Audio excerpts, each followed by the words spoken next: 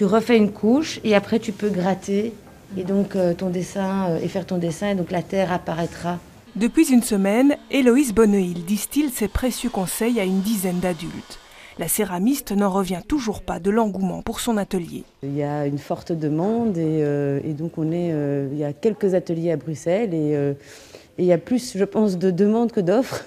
Un engouement renforcé selon elle depuis le confinement, période qui colle parfaitement avec l'art de la poterie. Il y a une philosophie dans la céramique. Il y a quand même, c'était quand même euh, les 30, 30 000 ans avant Jésus-Christ, on a trouvé les premières ta- statuettes euh, euh, de femmes en terre cuite.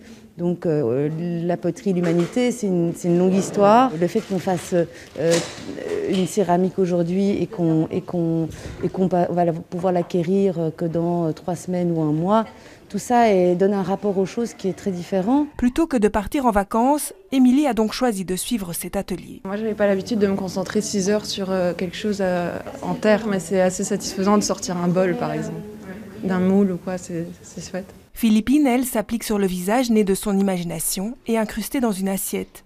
Et lorsqu'on lui demande son état d'esprit, Plus apaisé, oui, beaucoup plus, euh, plus concentré sur quelque chose. Ça, oui, c'est quelque chose que j'avais un peu perdu.